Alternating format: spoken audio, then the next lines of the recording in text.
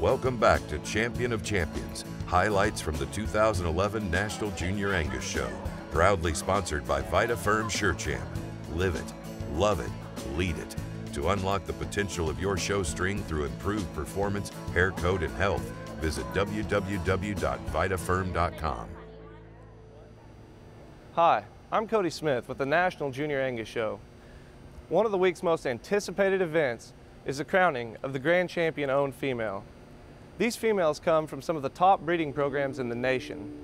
That means the competition is intense and the stakes are as high as it gets. Ernie Wallace has his hands full.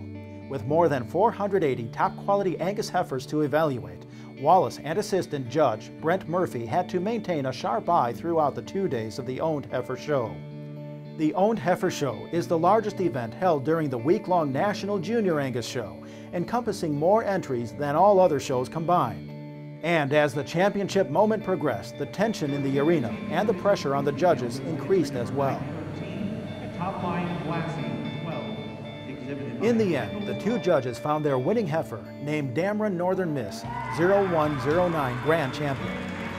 The April 2010 daughter of EXG RS First Rate S903R3 was exhibited by Kyle Anderson, a longtime member of the National Junior Angus Association from Chrisman, Illinois.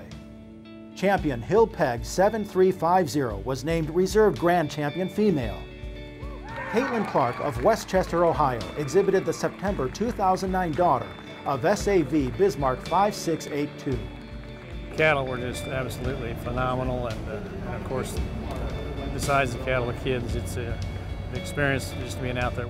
The Angus show is just one of those shows that every year, regardless of where it's at, you want to be there because it's it's the Super Bowl of shows for the Angus breed and one of the largest single breed shows in the world. Oh, it's nothing better, nothing better. The people they're associated with, just the association itself, it's been a great experience, nothing better.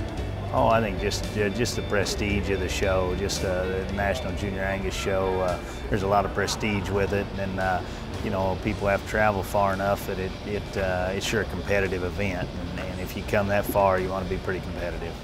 Those interested in learning more about fitting and showing cattle may visit our website for an educational video produced by the American Angus Association that features Kyle Anderson. This video and many others about the Angus breed can be viewed on angus.org by clicking the videos link.